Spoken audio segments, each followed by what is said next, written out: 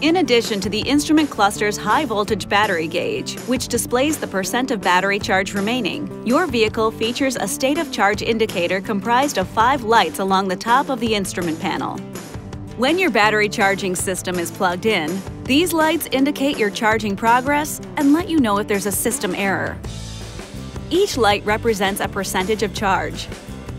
The indicator lights up from one side to the other, one light at a time, to let you know a scheduled charge is taking place. If you plug in the system outside its programmed charging schedule, the lights will scroll one at a time to let you know the system is waiting for its next charging cycle. If there's a charging cycle error, the two outer lights will blink. The charge schedule can be temporarily overridden by connecting, disconnecting, and then reconnecting the EVSE to the vehicle within 10 seconds. This video is not intended to take the place of your owner's manual. For complete details and other important safety information, please see your owner's information.